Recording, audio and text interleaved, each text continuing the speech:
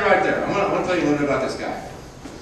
He's a founding member of the Tulsa Guitar Society. He was at our first meeting a year and a half ago.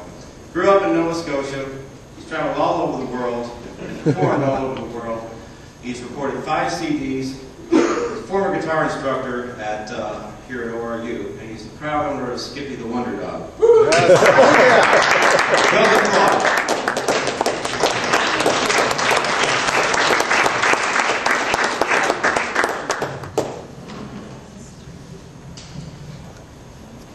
Música